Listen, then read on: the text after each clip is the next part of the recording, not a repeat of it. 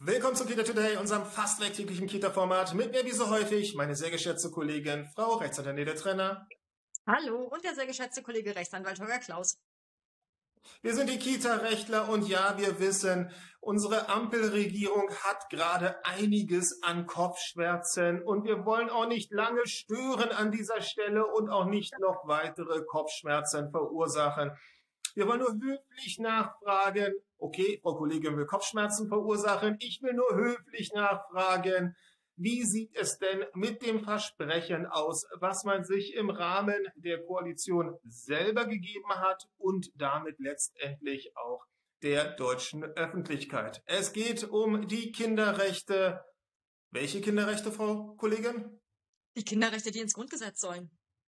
Und die sind da nicht drin. Die, die sind, sind, da nicht drin. drin. Die sind da nicht drin. Und das, obwohl was im Koalitionsvertrag vereinbart wurde?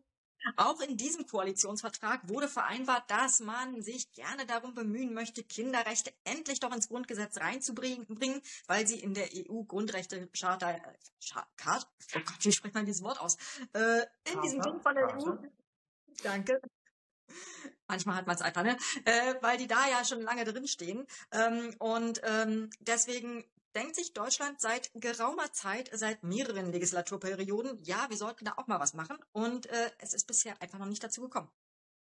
Wir halten fest, im Koalitionsvertrag ist uns ausdrücklich versprochen worden, wir werden die Kinderrechte im Grundgesetz verankern. Wir werden machen und wir haben bis heute nicht gemacht. Woran scheitert es denn wohl bis dato, Frau Kollegin? Naja, also als allererstes Mal war ja die Wahl noch gar nicht abgeschlossen, weil Berlin hat ja nun erst am vergangenen Sonntag noch so. mal gewählt. Also insofern konnte man ja noch gar nicht wirklich loslegen. Äh, und außerdem ist die Legislaturperiode ja auch noch gar nicht zu Ende. Äh, wir haben ja noch durchaus ein paar Monate Zeit. Wir können uns also darauf verlassen, es wird auf jeden Fall noch passieren, bin ich mir ganz sicher. Ähm, aber tatsächlich liegt es wohl äh, so ein bisschen an der Definitionsfrage, wie man es denn nun gerne hätte. Ob denn die Kinderrechte nun angemessen berücksichtigt oder des Kindes wohl angemessen berücksichtigt werden soll oder das erforderliche äh, Maß an Berücksichtigung finden, finden soll oder ähm, vorrangig berücksichtigt werden soll oder wie soll es nun sein? Ähm, und darüber brennt immer mal wieder ein großer Streit, wenn denn das Thema auf der Tagesordnung steht, ähm, weil es sind halt unterschiedliche Arten der Anerkennung.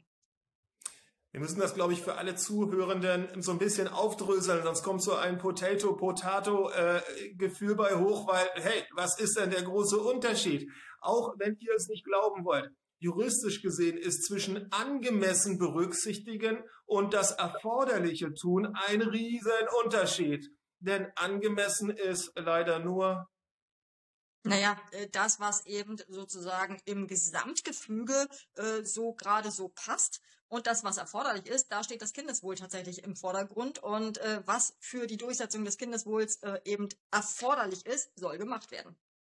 Also das, Erforderliche, das Erforderliche, was gebraucht wird, um ein Ziel zu erreichen, das will man sich natürlich in Bezug auf Kinderrechte, den Kinderschutz natürlich am liebsten im Grundgesetz vorstellen. Und wer so im politischen Spektrum jetzt für die Angemessenheit der Beachtung der Kinderrechte plädiert, will wahrscheinlich es eher nach Kassenlage ausrichten. Ein bisschen hässlich an dieser, an dieser Stelle formuliert, aber ansonsten erklärt sich ja nicht, warum hier sozusagen derartig, naja, so ein bisschen versucht wird, das Kinderrechtevorhaben abzuschwächen an dieser Stelle.